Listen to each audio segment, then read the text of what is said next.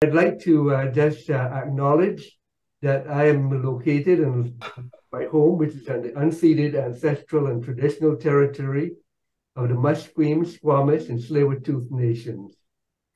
Um, today, uh, we have a, a, presentation that's a little bit different, as you will see, coming from uh, Peter Dodek.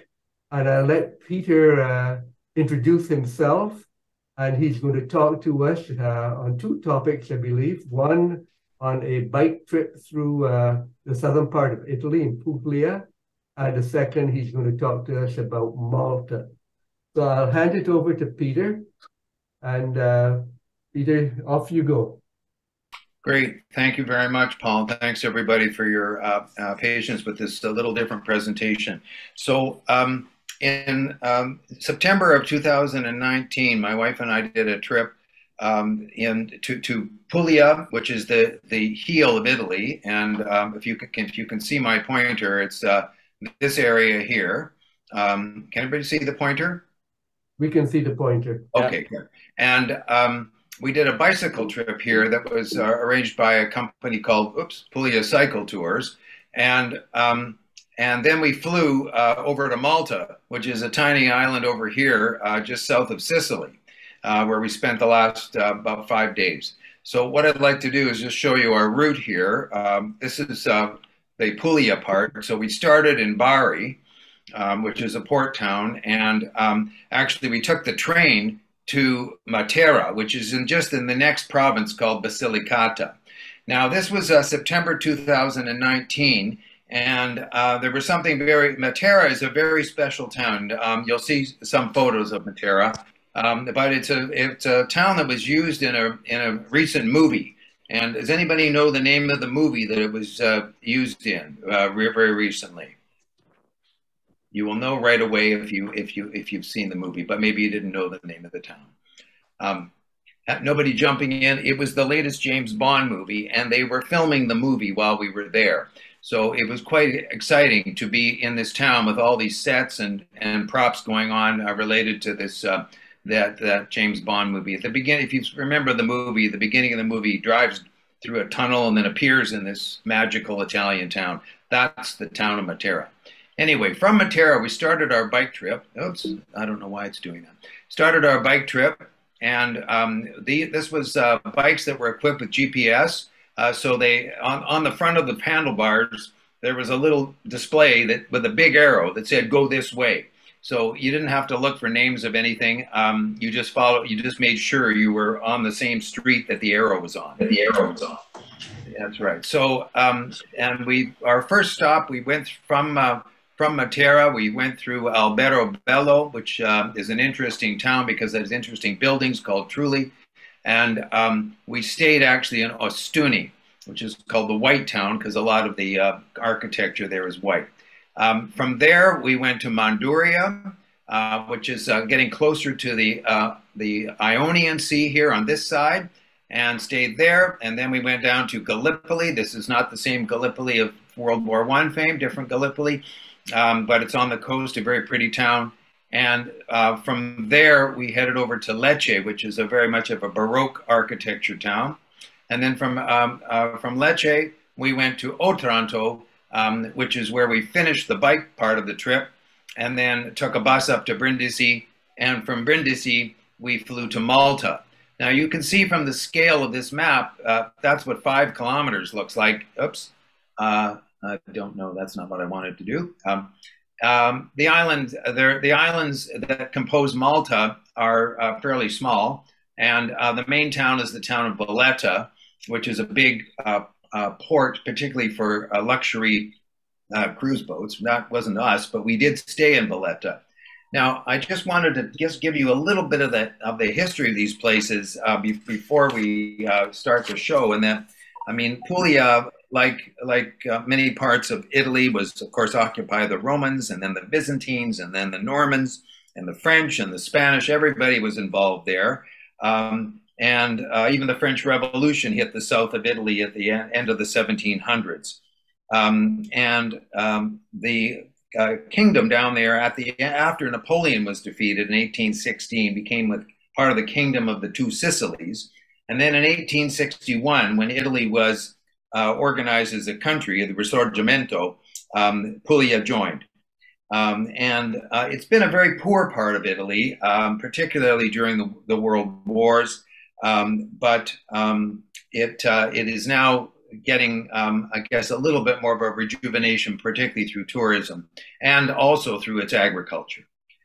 Malta has an interesting history because Malta, of course, was the sort the, the site of two sieges, and I point you to two books by um, Bradford, um, who wrote um, two books called The Siege of Malta. One was in 1565, which was, which the Ottomans, and this was the battle um, that took place uh, actually right here in Valletta um, that uh, essentially uh, held back the Ottomans from the conquering Western Europe. Um, and uh, the second siege was in 1940 to 42, uh, when this was used as an important base by the, the British uh, to, uh, to um, uh, help defeat the Nazis. So these places have interesting historical significance. Now what I'd like to do is I'm just going to uh, switch um, what I'm doing here, stop share for a moment, and um, get my other presentation up, which is, um, it'll be just a second here. And that's the screen I want to share. And this is Bari, and this is my wife.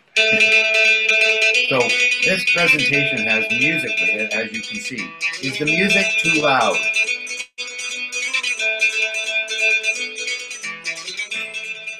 So this is Bari, and this is the old town of Bari.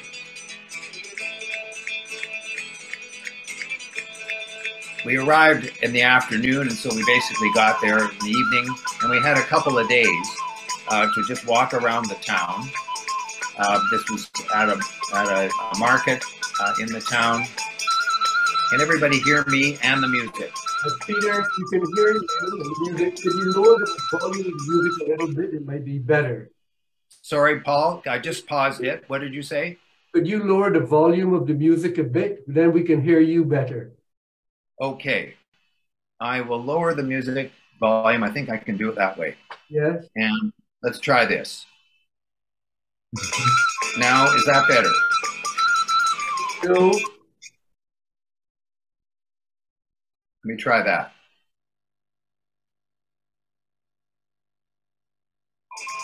Is that better? That seems better. Thank you. Okay. Um, right. So we were just walking around the town, we came across that wedding that was happening. Um, this is inside uh, one of the old cathedrals there, some interesting mosaic work. And uh, this is in the crypt uh, of that church.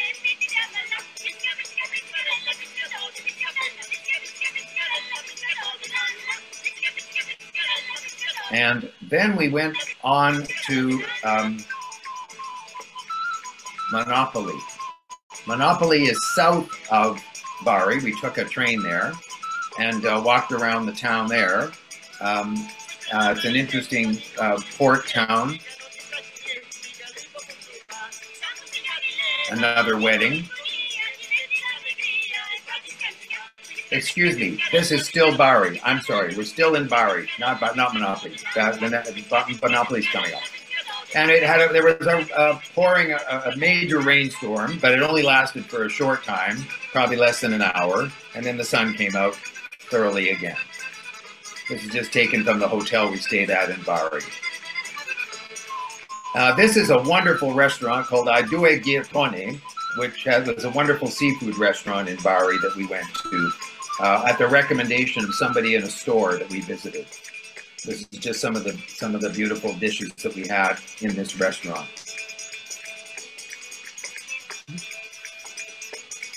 Way too much food.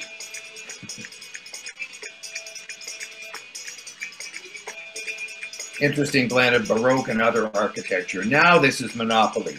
This is a town that's about an hour train ride south of Bari, uh, mostly fishing. And again, we just walked around the old town uh, to explore. This was a day trip out of Bari.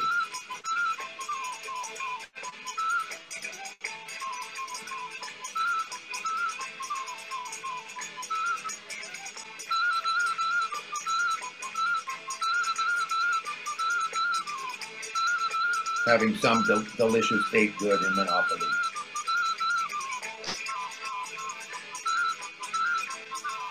Is the sound okay now? Very good, thank you. Okay.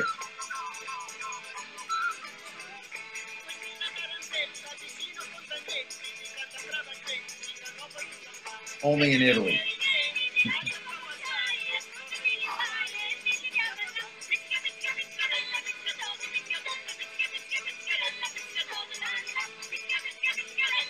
Now this is, we then took the train up north between Monopoli and Bari, it's Polignano a Mare.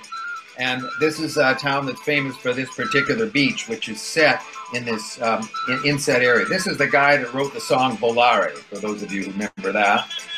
And that beach is just around the corner of those rocks there. It's just in this little bay. Of course, you can't go to Italy without having some uh, good gelato. And I just took a few pictures of people and, and still life around the town.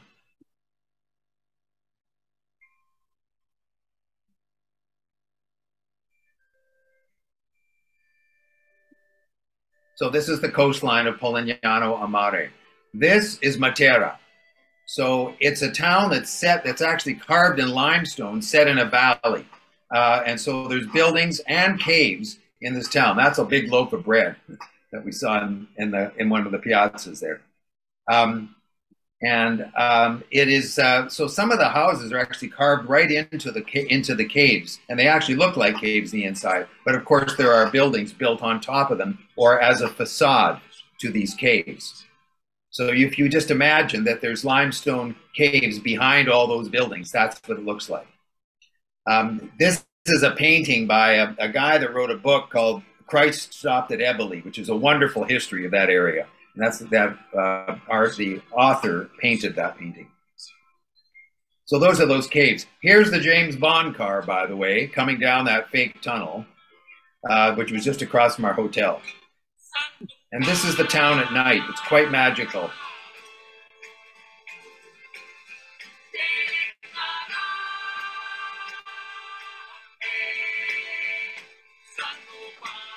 So it was very much a rural uh, town. Um, and in fact, because of the poor living conditions, people were moved out of these caves for a period of time until the, the government um, restored them into uh, livable dwellings. And now it's quite the tourist area. So that's what it looks like without buildings on it. But that's the kind of landscape around there.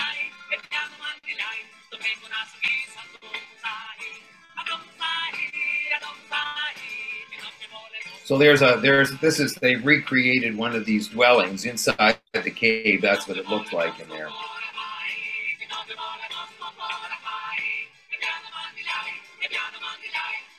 And I think this was an old church. Again, more of the valley.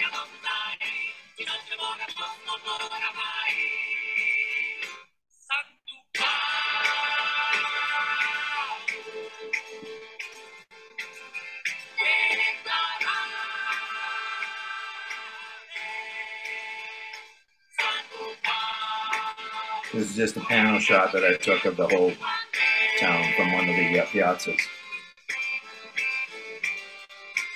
We walked by a building, and there were six six Aston Martins uh, that were used in the filming of the of the James Bond movie.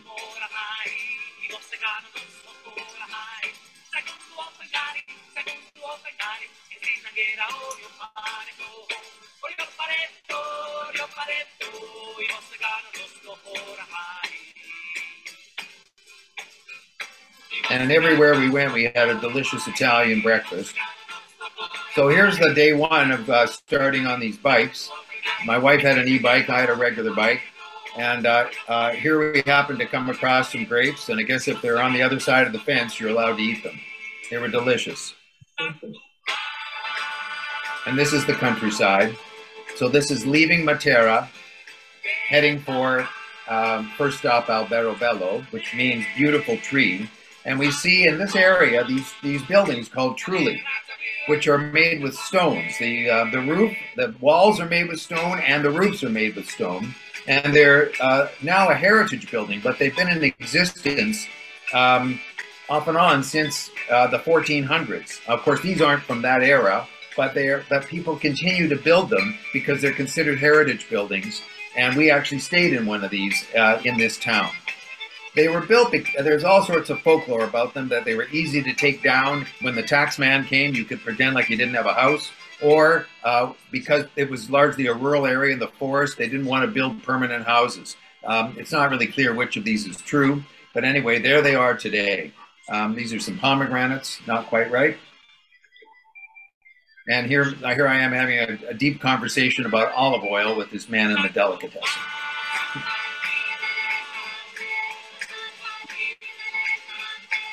Very pretty town.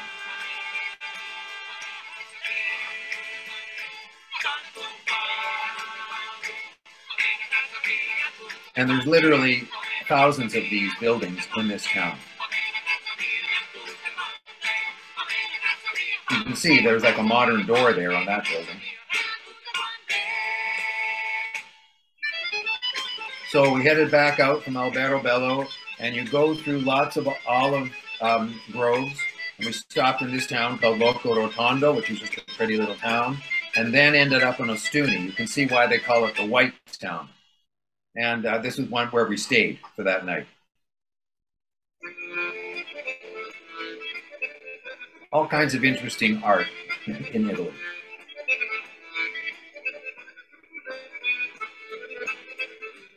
More big and old olive trees.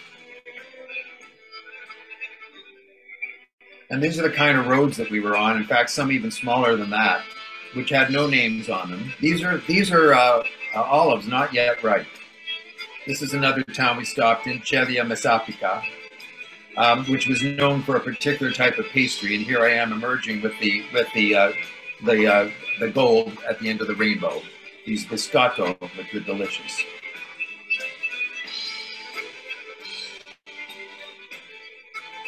There's a little uh, delivery truck in the town. And this was just in an, in an old palace. Finding our way out of the town sometimes was walking through little little uh, back alleys like that. Here's some really old olive trees. And then we stopped for lunch in Francavilla Fontana, where we had some del uh, delicious uh, uh, squid. And this town, which had some uh, some Jewish history to it, um, uh, with an old uh, Jewish quarter, we decided to stop there and just have a look. But there really wasn't much to see, except for the fact that um, this guy, this man, was a pharmacist and um, had some notoriety in that town. Then our next stop was Manduria, which is where we stayed. It was the next night for staying for uh, accommodation. Just, look, just looking up inside that church.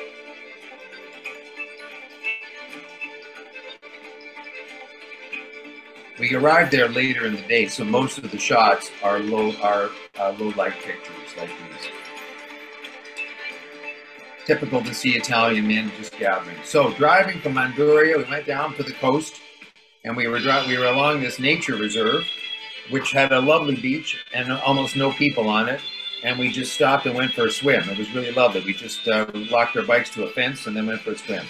Now, this is one of many towers. There are about over 100 towers that were built in the medieval period around Puglia as a defense. I think built by the Normans. One of my favorite flowers, bougainvillea. And most of this ride was along the coast, heading towards Gallipoli. We had another swim that day right here. Um, this was just right beside the, the bike route, and so we just Again, locked the bikes to a fence and, um, and went swimming there.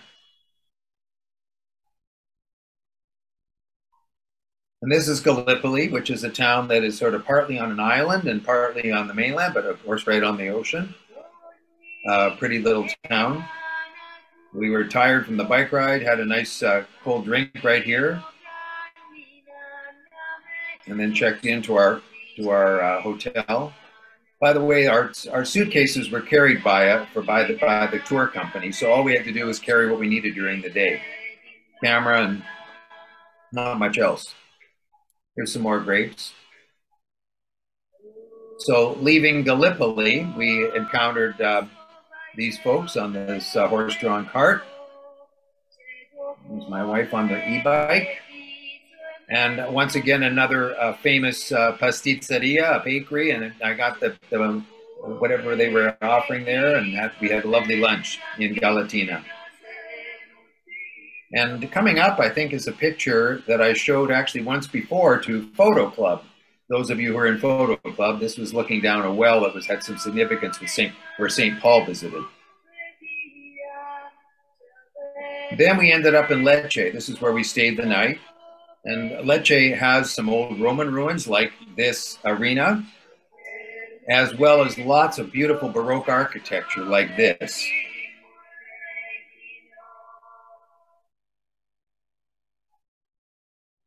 There's a park here.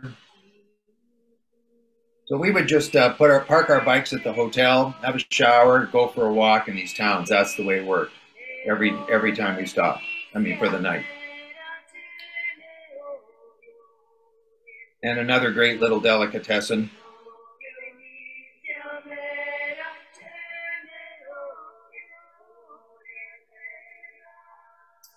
Having dinner that night in Lecce.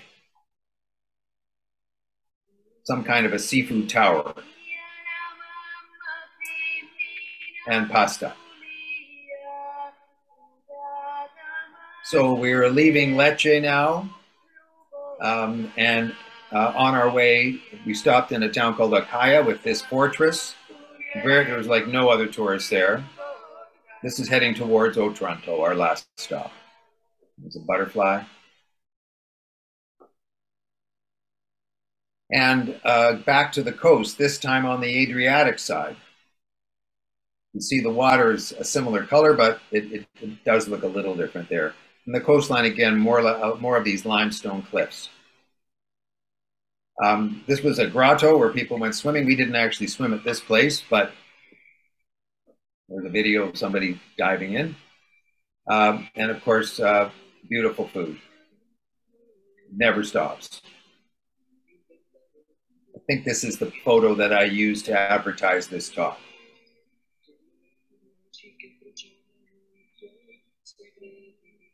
You can see you can swim out to those islands.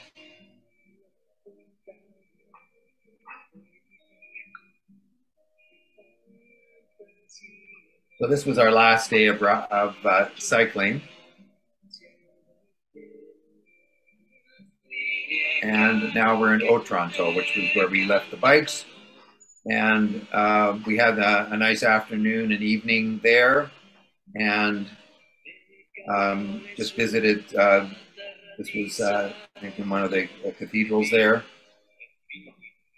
and we were staying most of the time staying in the old town almost in, in, every every town we were staying in the old town. And actually we could go swimming right there in that bay. We did go swimming there the next morning.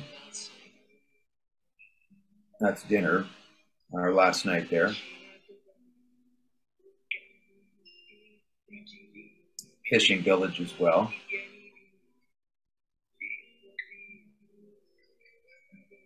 This is a church with all these skulls of people that had been massacred, uh, I believe, by the Ottomans.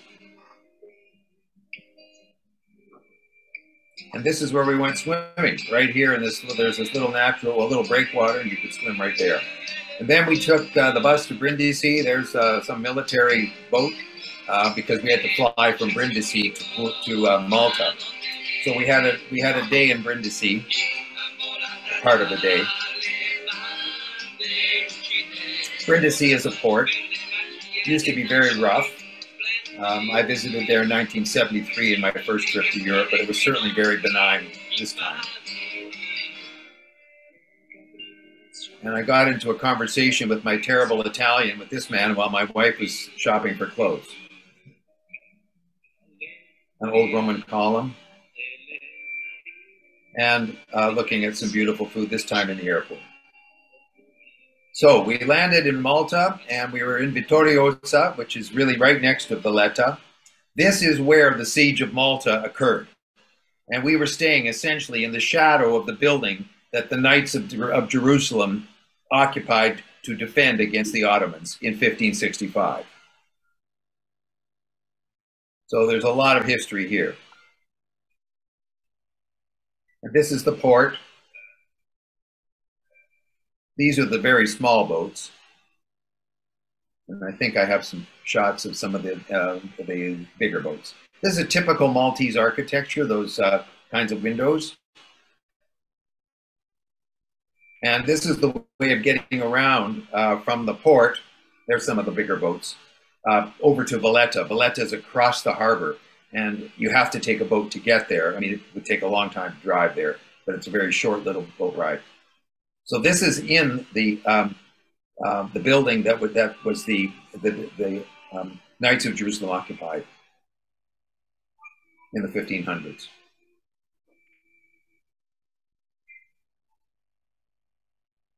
Again, uh, whether it's Malta or Italy, men are always men are always around watching uh, soccer games. And this is the fort, Fort St. Angelo, which was again the fort that they that um, the Knights of Jerusalem occupied. This is an elevator you have to take to get up to the town in Valletta from the port. When you take a little boat across, you take that elevator up. And then we took a bus to Mar- which is a town on the south coast, um, pretty little fishing village and um, then took a boat over to a place called um, St. Peter's um, Pool. You'll see that in just a moment. These are just some rock formations. So there we are. St. Peter's Pool is a natural formation where you can go swimming, and we did. Um, you can see all kinds of people gathered. They dive in. It's it's quite safe. So here's a man and his dog, and I'll just let you watch this.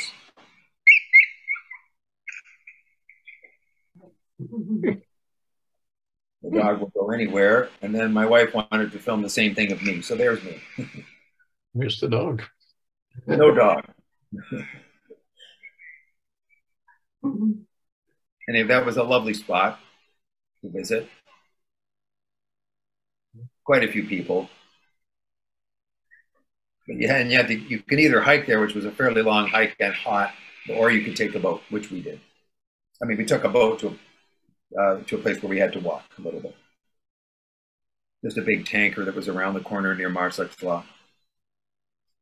And um, one of our favorite Italian foods, arancini, but we happen to have it there in Malta. So this is the town of this is the, the town of Valletta, which is really a, a fairly large town. And um, of course, Malta was uh, was a British uh, pr uh, property for a long time. So there's a lot of British rel relics there. This is Comino, which is one of the other islands, and Gozo, yet another island. We visited those in one day. You take a bus and then ferry, small ferries. They're, they're very close uh, in the north part of the, of the country. Much quieter than Valletta. These are some old carvings in a prison, some that prisoners had carved. This is in Gozo. I think that was a shoe store. And then on the way back um, at Comino, there's this place called Blue Lagoon where we went swimming. And then uh, I walked around the island a little bit, took a few photos. This is on our way back to the main island of Malta. From so um, back from the Gozo and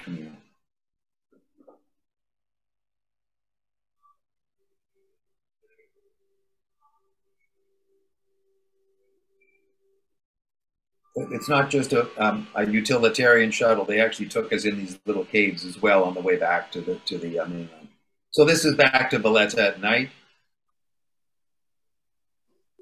and uh, looking uh, towards Valletta from the port. This is just a little video that my wife took uh, from one of these little shuttle boats. So that's uh, that's the port. That's where we were staying.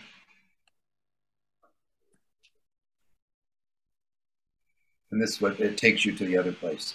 This was actually in World War II. I mentioned that was the defense against the Nazis. That was a war planning room in a bunker way down, way down under underground. And in commemoration, they do fire these guns uh, from Valletta on a daily basis.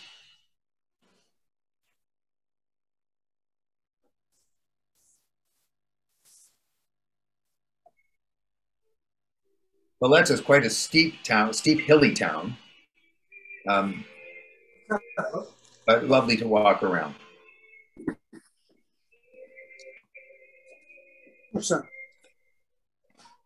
And this is just a, a painting of uh, the original siege of Malta with the with the Ottomans. And this is in a museum showing some of the old uh, armor. That again is the is Fort Angelo, which was where the where the Knights of Jerusalem defended. I think I may have shown this picture at Photo Club once of some of some bread from a bakery that was we just happened to walk past. I have to tell you that these two books were very inspiring, the two books of the sieges of Malta. So that's why I kept taking pictures of Fort Angelo. And this is our last night. Um, before we visited, our, the last day was in Mdina, which is a town in the middle of Malta. Um, mostly a walking town, very pretty to walk around.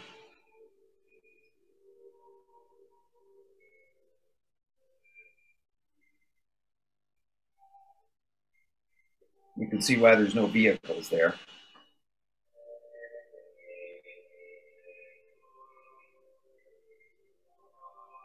And there was a, um, a little market going on, mostly of crafts like this, like sewing type crafts.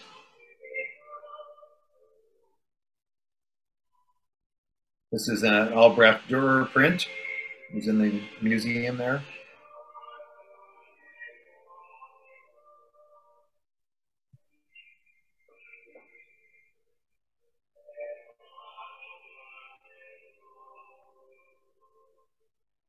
Well, these are all in Mdina.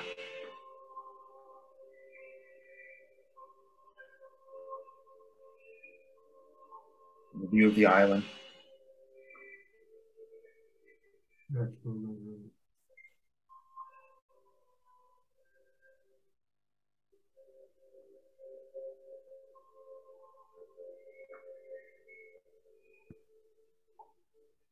and Rabat is just right next to Mdina, another another walking town. And and this was taken in a uh, catacomb underground, which was used during World War II as a place for people to hide out during the bombing, the Nazi bombing, as well as catacomb or much earlier as well. And that is Valletta, the man. Valletta was the was the chief of the Knights of Jerusalem, and uh, he's the one that that town is named after. And here we are back home on Spanish Banks. And that's it. Yeah, but Peter, thank you so much. Perhaps you could unshare your screen, which maybe you have done. I'm going to go back to gallery view. Yes. Yeah, I stopped sharing. Before I open it up for people to ask questions, I have a question of my own, and that is how long did you actually spend in Puglia and how long did you spend in Malta? How long was this overall, this trip? Um, okay, so it was about, um, but we had six six nights in, on the bike trip, six, and then three uh, in Bari on the, uh, at the well, three in Bari at, at, the front end, six nights on the bike trip, and then one extra night uh, in um, Brindisi at the end. So uh, that's ten nights, and then there was a day of travel to, to and then we had five nights. We stayed for five nights in Malta. We stayed in the same place in Malta. Okay, so just over two weeks. Yeah. Any questions? Uh, I can't see everybody on the screen, so you might just have to chip in and you come up probably. And uh,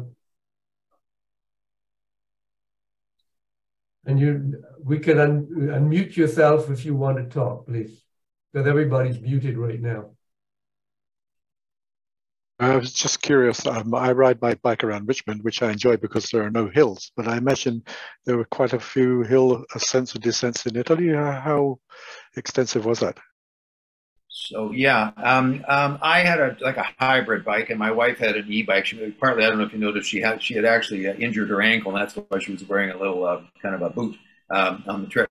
Um, uh, at the time, um, there were I mean I was able to manage the hills. I'm not, I'm not, uh, you know, the world's best athlete, but I would suggest, I think this is a trip that's probably uh, better done uh, by e-bike uh, because it can be very hot. And then some, there were some hills like leaving Manduria. I remember there was one hill that was just, it just got steeper and steeper towards the top. It was pretty hard at the top for me. Um, but I, I, think by e-bike, they're all manageable. And I saw a, a lot of people, people older than me who were uh, riding e-bikes on a trip like this.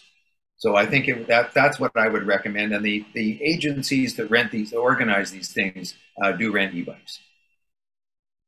That's useful to know. Thanks. But I think it's a, it, you know, the, the, the, route that you take is away from all the roads. So it's just fabulous. It's mm. all backcountry. And sometimes I didn't even, I couldn't believe that I was supposed to be going down this little narrow path, but that was the right place to be because it was the arrow on my GPS said this is where to go. Yeah, so uh, uh, Carolyn, I guess that's yeah, yeah. Thank you. No, um, so you you were on a bike, but how how doable would this trip be if you didn't have a bike? So I guess there's probably not a lot of public transportation. You'd have to drive it, right? Yeah. Now it's a whole different trip uh, on in a car. We saw people doing, you know, seeing some of the same towns by car and talk to people. So it is doable. It's just that getting from town to town are there different routes. You're going to be on roads, um, mm-hmm. sometimes highways. Uh, not, I, I don't think there's much in the way of the super highway type, you know, the autostrada down there, but um, but you'll be on highways. It'll be different. However, you can get to all of those towns by road. And, and what about? Oh, sorry. Sorry. I was just wondering what, what your sense was of um, the availability and the quality of accommodation if you do something like that. It was excellent. Um, the, I mean, we, as I say, we work, uh, we dealt with a company called Puglia Cycle Tours, um, and they, you know, they're very flexible. They could probably, if you wanted to call them and say, "Look, I just want the accommodation. Can you do that for me?" I bet they could do it. No, I'm serious. I think they could. Um, these were all, um, I guess, what, what what they would be in terms of stars, four, three to four star, three to four star hotels. They were all very clean, private bath, um, very nice breakfast, uh, very nice hosts. Uh, you know, at the front desk. Um, they stored our bikes safely. I mean, you know, I, I would stay there again easily, mm-hmm. any of them. Somebody else had a question. I just wanted to add um, you can drive this quite easily and stay off the highways. And it's um, it, as long as you avoid uh, highways and toll roads, you're on small roads and it's quite safe. Uh, the congestion is when you go through the small towns. Yeah, and in fact, it, sometimes it's better to park outside the, the oh, yeah. walls of the small towns and just walk in mm-hmm. um, because it's very difficult. I, I, would think it's very difficult to navigate. I gather, are you from that area, or you certainly um, have been yes, there? Yes, I, I was born there, and I actually traveled there about the same time you did, and oh. through many of the same areas. And uh, we did it by car, and uh, yeah, no, very drivable and very very comfortable to drive. And I agree with you. The hotels, uh, they're all very clean and uh, we didn't have any problems at all. I'm actually surprised. Did you stay at, at any Masseria? I'm sorry, say that again. Masseria is um, they're old uh, land holdings very large land holdings. Yeah, yeah. And they're a nice place to stay. They're interesting as well. Right. We did that south of Lecce, and that can be very interesting as well. Now, correct me if I'm wrong, but I think those tend to be right in like in the rural areas near, near farmland. Is that correct? Yes, they're surrounded by farmland. Right. So, so uh, this trip was purposely um, designed so that we would visit and stay in these in these towns you know during our evenings rather than in the middle of a of a rural area mm-hmm. but i did see them and i think i think daniel craig was staying at one of those because i saw the truck the, the, the, limousines coming into town into matera from one of those places i noticed you took quite a photos of the uh, cactus pears did you taste them i did not I did not. Those were the very colorful things yeah. on the uh, cactus. Yeah, yeah, no, they should try them sometimes. They're interesting. Okay. I think Richard was next. Yeah, Peter, thanks. I really enjoyed your talk, and I I loved the uh, the way you put your slideshow together. It was uh, it was very nice to watch.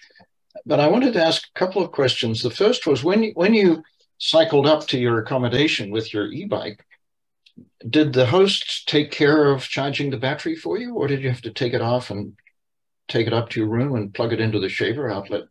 Yeah, this um, particular bike, you basically just take the battery right off the Okay. frame. It's very easy, and Right. we and, and we just we had the charger with us.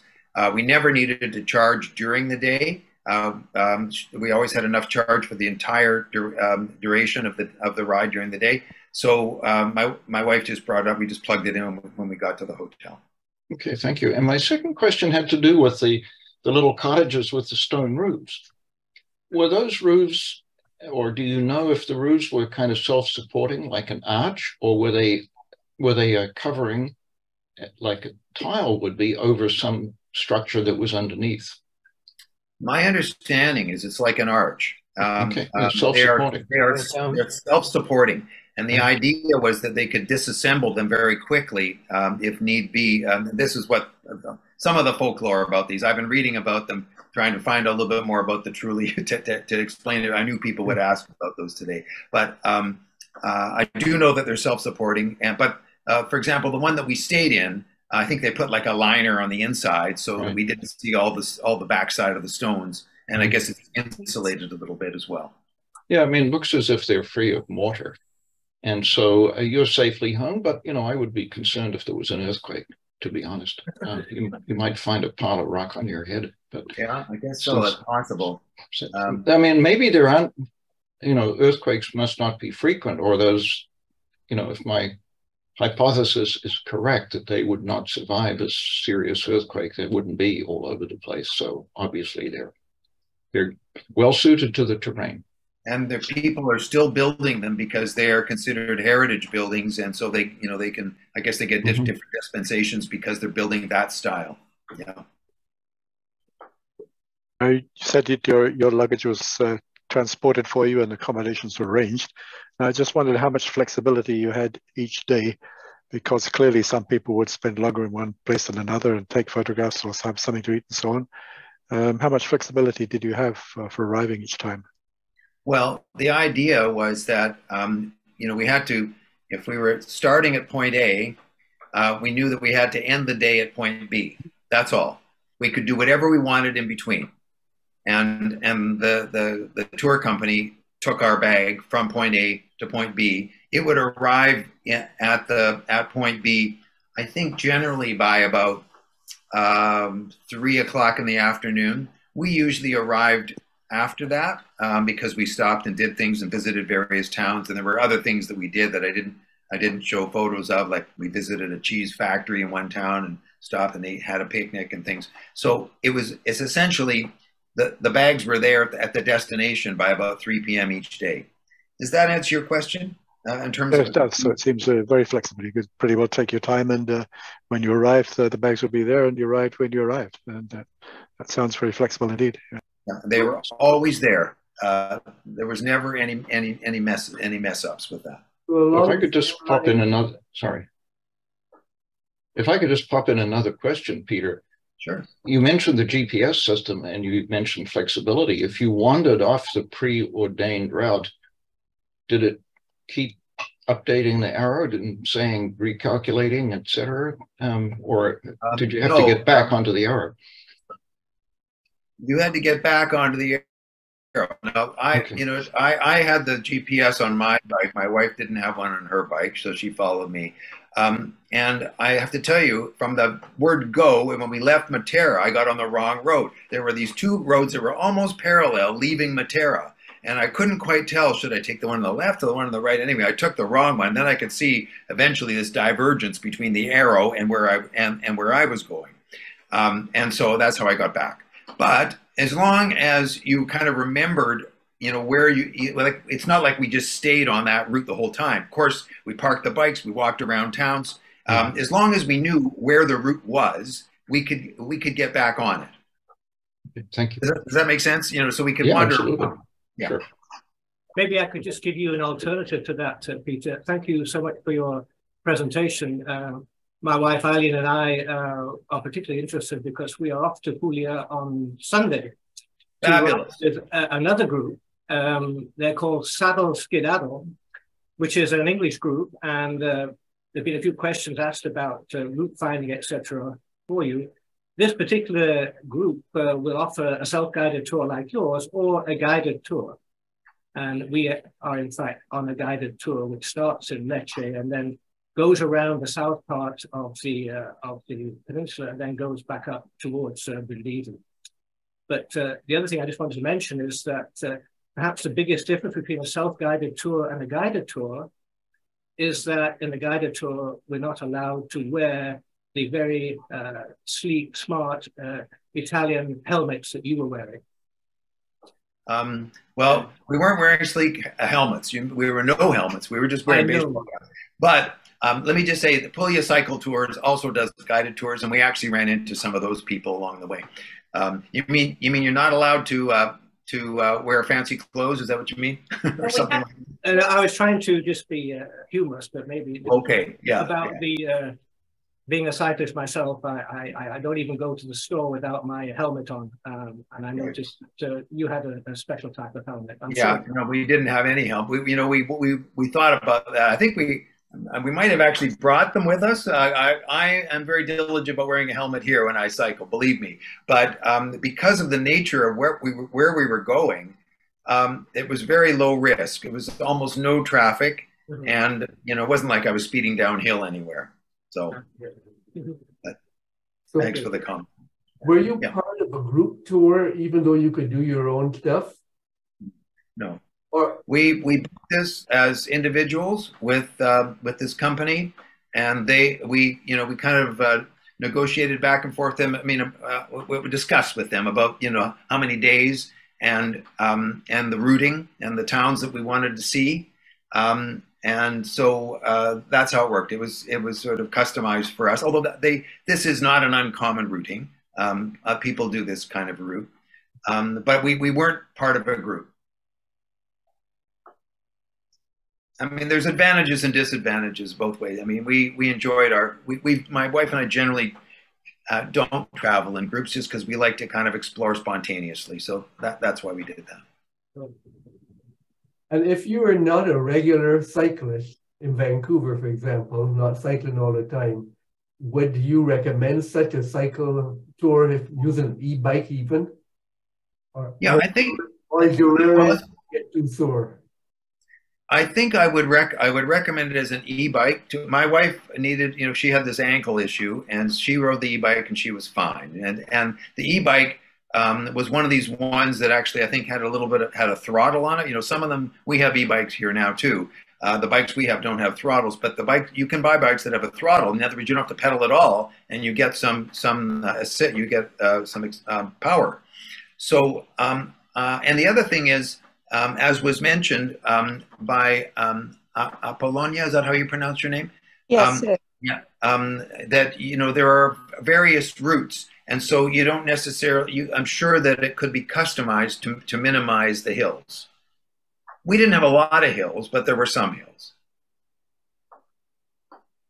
Yeah, most of the routes you were on, Peter, it seemed to me that they were the access routes for the agricultural people because exactly. the land holdings are not huge land holdings. They have smaller plots and they need to move from one to the other somebody was mentioning about mortar before.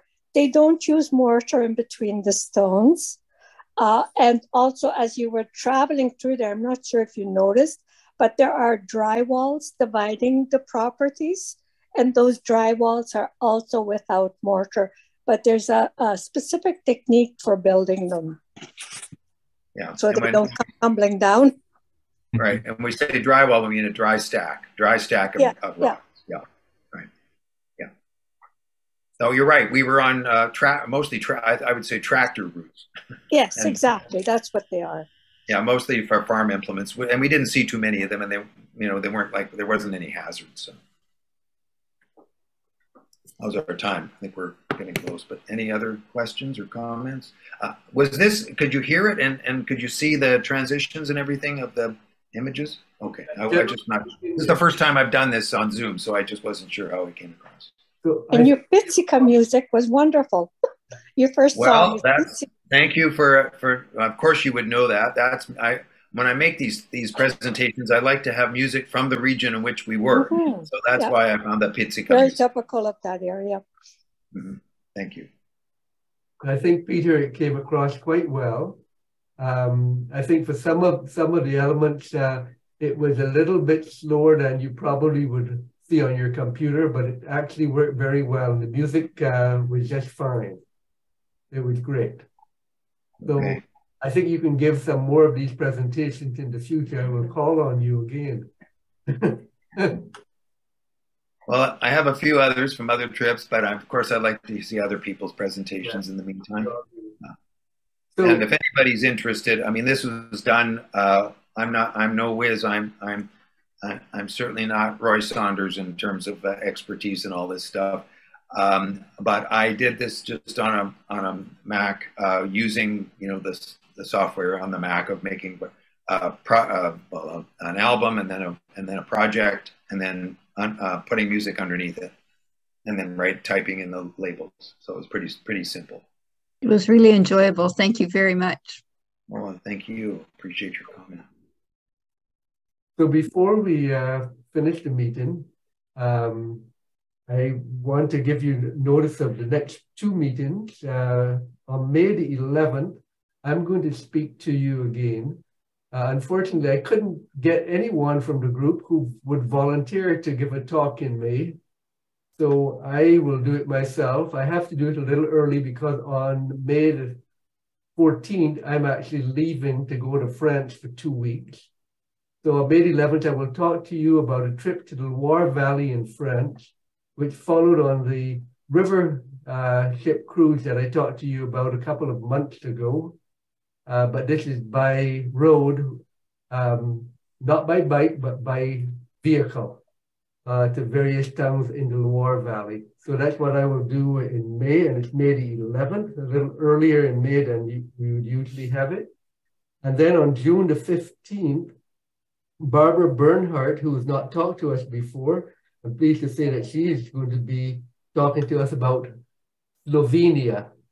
And I am quite interested to hear about that part of the world. Not, we've not had anything to do with that in, uh, in recent times anyhow. So as I said uh, to the people who were here before we started, uh, we're all set for uh, until the summer. Then in October, we have uh, someone who's willing to talk, but I'm looking for speakers for September and for November. Uh, the expectation is that in December, we will not have a, a, a, talk and we will start again after the Christmas vacation in January. So please, would somebody uh, volunteer to give some kind of travel talk in September and again, I need somebody for November. I'd love to have new new people speak. Um, and I, uh, some people have expressed a concern as to the quality of uh, the photograph and things of that nature. Don't worry about it. I think what we're most interested in is your personal experience of traveling to certain areas, how you did it, what you did, what you liked, any guidance you can give for us who might be interested in going to the same kind of area. So even if the photographs are not uh, the quality that Peter showed today, don't worry about it. Just uh, come and tell us about your travel experience. I'm sure we all do things differently when we travel, uh, but it'd be of interest. So are there any other comments or questions before we uh, conclude this meeting? Then again, Peter, I'd like to thank you for volunteering and for giving a wonderful, memorable type of presentation. So thank you. Pleasure. Thank you. Thank you, Peter.